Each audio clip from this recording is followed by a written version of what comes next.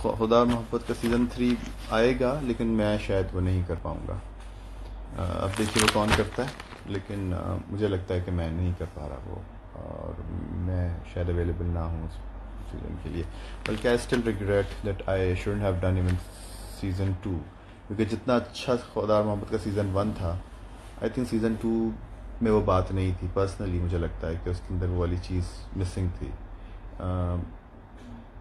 इसलिए कुछ चीज़ों को वहीं छोड़ देना चाहिए अगर अच्छी बन जाए तो and I still think that Khuda Mohabbat one was far better than Khuda Mohabbat season two so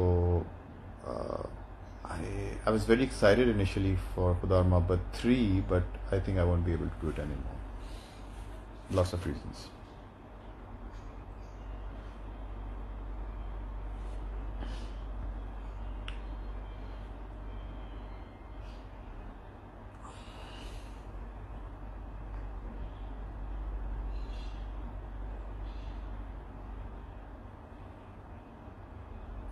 Hi S uh, SCA from Turkey.